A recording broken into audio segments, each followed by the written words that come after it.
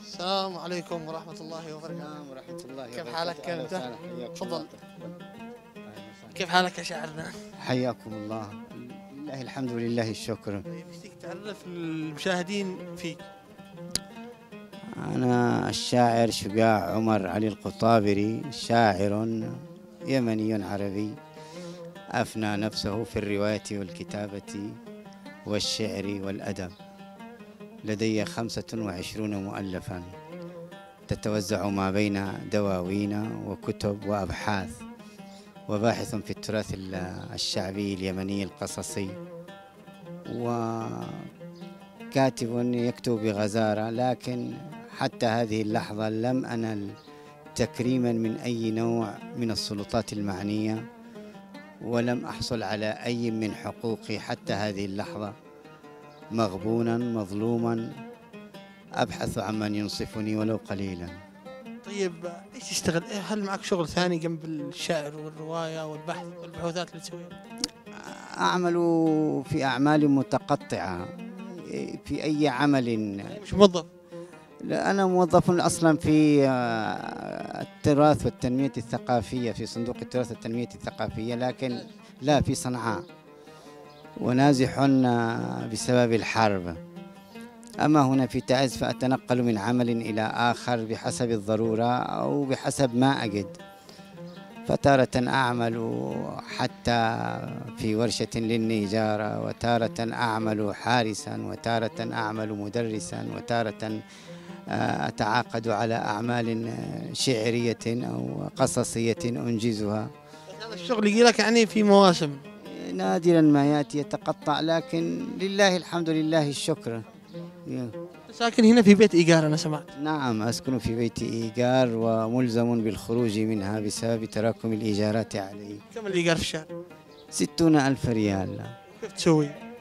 آه لله الحمد ولله الشكر. آه يأتيني بعض ال- المال الذي أسدد به الرات يعني الإيجار لكن حدث وأن مررت بأزمة شديدة إيش رأيك نتكلم باللغة العامية؟ حسنا كما تريد آه. قلت لي آه، يعني بعض كم عليك اشهر الآن متراكمة؟ علي 240 ألف ريال ألف ريال أو بالأصح هي مش 240 هي بتكون ستة شهور 360 ألف, ألف ريال. وملزم بالخروج وأبحث الآن عن شقة جديدة. كيف تصرف على نفسك وعلى أي أولادك؟ كم معك أولاد؟ لدي ثلاثة أطفال يعني إبراهيم وزينب وعائشة. هذا ابني إبراهيم. تعال إبراهيم تعال. تمام. بنتك. لا بنتي بنتي هناك فوق هذه نايمة صغيرة. عائشة عمره أربع سنوات وزينب عمره سنتين. كيفك إبراهيم؟ الحمد لله. كم عمرك إبراهيم؟ 13 سنة. تدرس. صف كم؟ سابع. مش الدراسة أمشي طيب أشتيك كذا يعني أعطيني قصيدة من قصايدك أو أقرب قصيدة إلى قلبك. توصف فيها وضعك. هذه قصيدة ذروة الدهور عن غزة. قلت فيها كتابتي إليك بعض قصتي وبعض ما أرى. وكل زهر ثائر بحديقتي ودمعتي. إليك رحلة السماء وكل جرم مرهف رأى أتى كفيك كي يقبل السناء حتى يكون غاية لأجلها تكون آيتي. لأجلك الزيتون ينزف بدربك الضياء يعرف بكأسك الزمان يرشف لجرحك السيوف تنطف فكيف سار عصرنا يعود كي يكون حجه إليك؟ طوافه الفناء وبيته البقاء وكل حكمة يسير أهلها على تراب عبرتي. أرى أرى لكي تقول غزة الرؤى حديثها الكوني في القوى لكي تخور كل قوة هي غيرها في خطوة السوى لكي يقول كل كائن في وصله الضياء حكاية الربيع والشتاء وجمرة الفضاء إن ذاق حرقة الجوى فهام ثم هام وكلم الكلام وعانق الحروب والسلام وأوقد السهاد والغرام بألف جذوة. فهل أكون أو لا أكون؟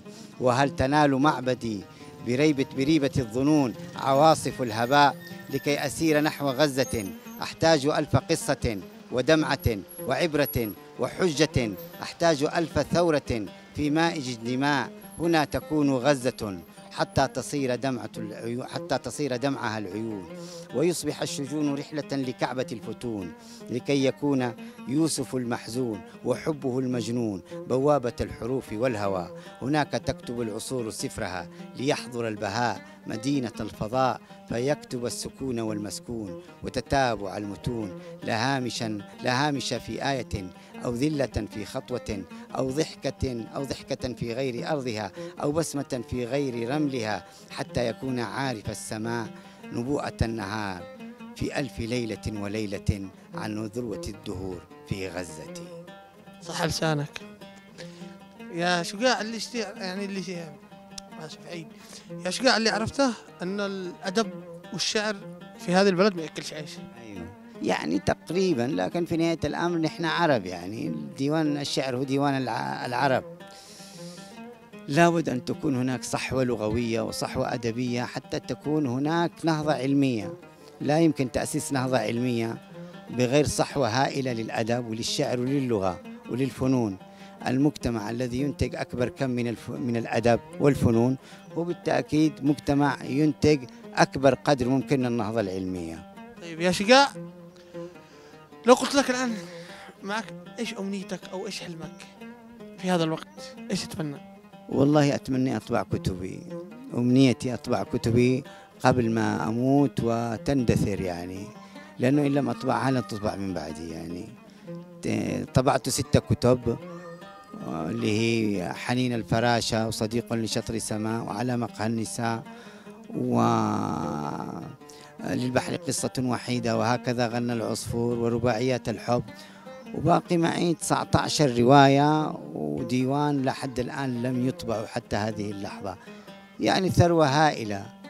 هي في نهاية الأمر ثروة كل يمني وثروة كل عربي يعني ثروة العرب من الخليج إلى المحيط زي ما يقال. وإن شاء الله سبحانه وتعالى تتحقق هذه الأمنية قريبا ونراها بإذن الله. يا شقاع أول شيء الله يطول بعمرك وإن شاء الله يجي اليوم اللي تشوف فيه حلمك ويتحقق وتطبع جميع كتبك ويترتب وضعك.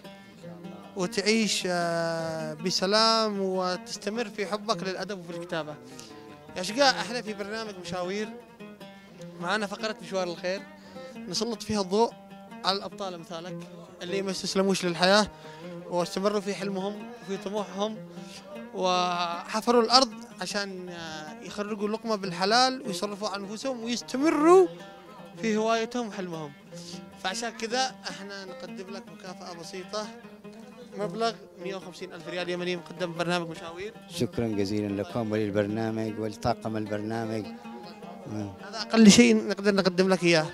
شكرا جزيلا. ألف ألف مليون شكر. وأنا عاجز فعلا عن شكركم.